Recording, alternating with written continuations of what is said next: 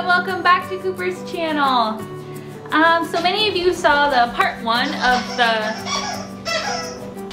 Coop got a new toy. Many of you saw part one of the treat launcher that did not go over well. Uh, I shouldn't, I just gave him a new toy, so I don't know why I'm trying part two, but I am. And I'm trying it inside. A lot of your comments said that he was just too distracted and everything was outside. The reason why I also liked outside is because the treats are brown and the snow was white, so you could see it.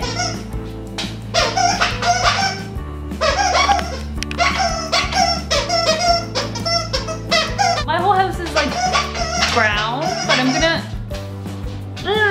I'm gonna try it in the hallway because um, it's gray. So we might have to do a part three, we will see. I'm also gonna set up my phone as a camera just to see if it can catch anything else. Ready?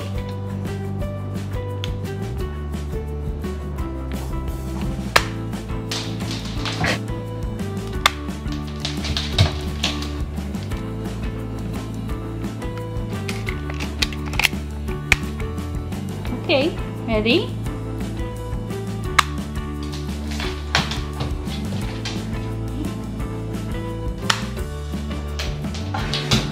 Love my baby so much, but he just doesn't understand. Ugh. The outcome of that video is um, he just doesn't understand.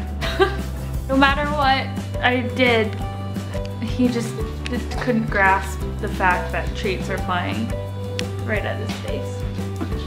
so, I don't think there's gonna be a part three. We tried as hard as we could with the treat launcher. He got a bunch of bunch of You got a bunch of treats out of it, so I say that's good, right?